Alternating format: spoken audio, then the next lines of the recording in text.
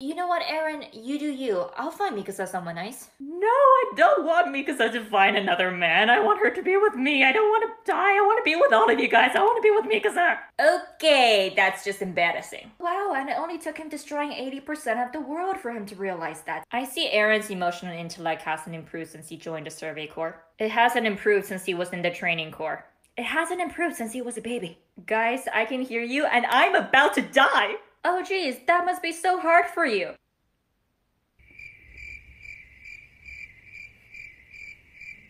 Pull yourself together, man. I'm dying from secondhand embarrassment here.